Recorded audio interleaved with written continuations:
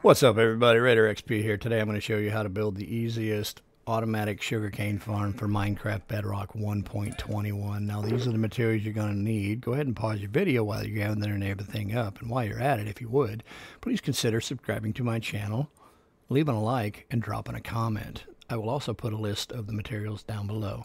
Alright, let's get this thing going guys. This thing is, I mean, it's just so cool. I love this thing. Alright.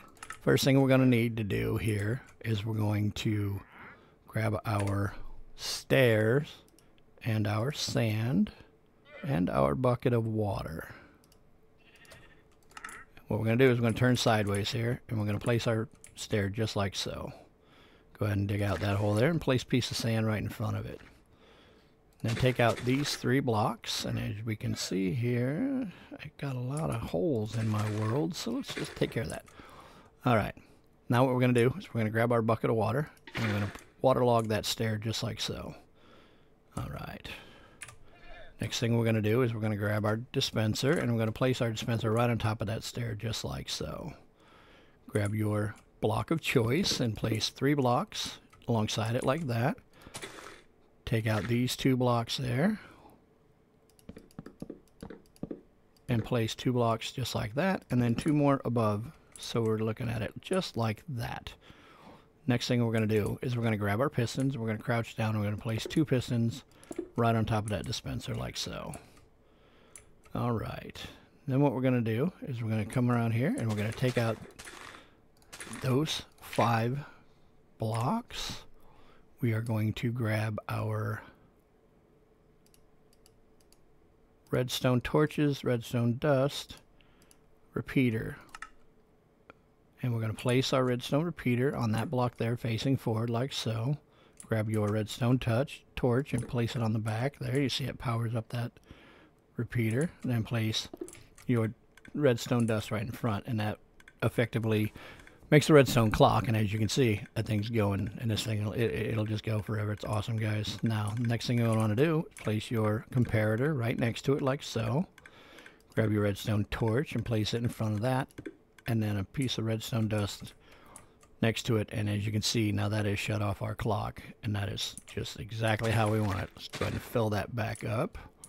Let's come around to this side here and what we're going to do now is we're going to grab our hoppers and our chest and we're going to place down a double chest here because you're going to need a double chest for this thing. It's so awesome.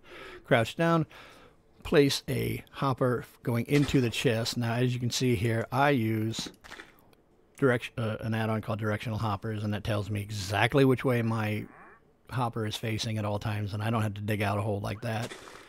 I always know. All right. Place a block next to the sand just like so. Crouch down and place a hopper going into that dispenser and this is going to be where we're going to supply our farm with the bone meal that it needs to make our infinite amount of sugar cane. Crouch down and place a chest right there just like so. Next thing we're going to want to do is we're going to want to grab our glass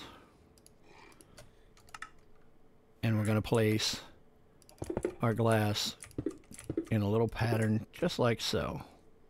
Grab your redstone torch one last time here. Place your redstone torch right next to that piston like that. Grab your glass and place one glass above that chest and you'll still be able to access it like that. And then two more on top like that and then we'll put one more just like that just to make a nice easy squared out system. Grab your glass panes and place three glass panes on top of that hopper and then grab your slabs.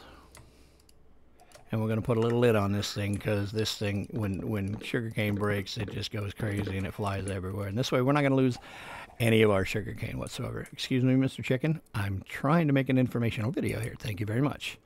All right, guys. Now, the one thing I forgot to do here is place a piece of sugarcane on that sand right there. All right, this thing is it, it is glorious, guys. I love this thing.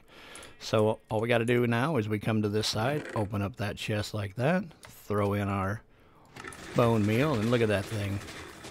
This thing is just awesome. And the best part about it is when the bone meal's done, it shuts itself off. You don't ever have to worry about walking away from this farm and forgetting to turn it off and having it break and stuff like that. And look at that. In just seconds, we've gotten half a stack. I ran this one for a minute to two minutes tops, and we've got just tons and tons of sugarcane to build rockets and paper and use it for sugar.